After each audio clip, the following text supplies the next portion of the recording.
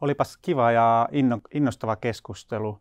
Puhuttiin hiilineutraalisuudesta ja oli kiva huomata, että poliitikoilla, ilmastoaktivistilla ja yritysmaailmasta löytyy paljon yhtäläisyyksiä ja yhtenäisiä tavoitteita tästä eteenpäin.